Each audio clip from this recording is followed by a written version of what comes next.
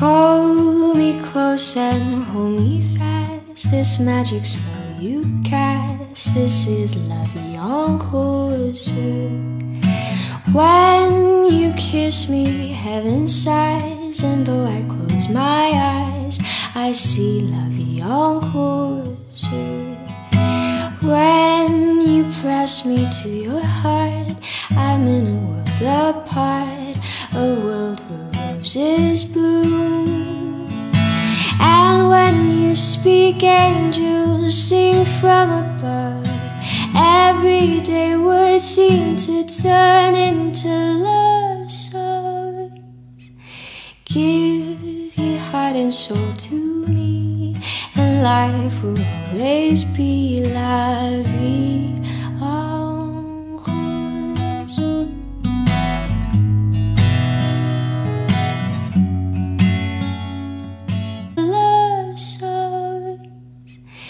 Give your heart and soul to me, and life will always be la.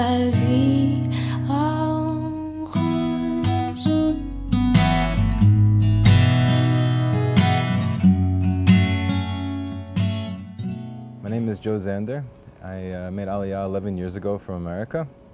And uh, my love for chocolate is both old and new. I started off working at my grandfather's bakery. Chocolate's kind of similar, you know, it's something you start with a very bitter seed and, and trying to make it sweet.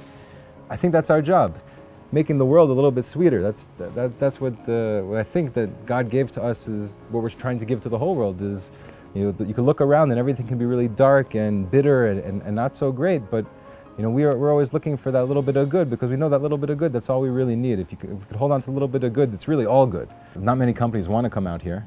Uh, every time we have a shipment, it's always a, a very difficult thing to, to convince someone to deliver it to this area. Lev Haolam contacted us uh, a couple years ago.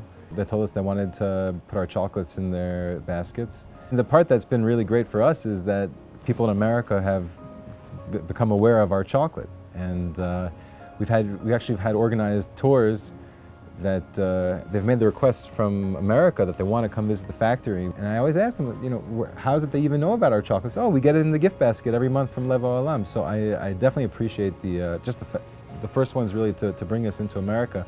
And I think to get us into the, into the community that, that wants to, wants us to both support um, Israeli companies, uh, Israeli artisans, but people who are, who are living in Israel and trying to, to make their, their business in Israel. Uh, it's a beautiful thing. This is the heart of Israel, and this is Lev Haolam, the heart of the universe. The universe.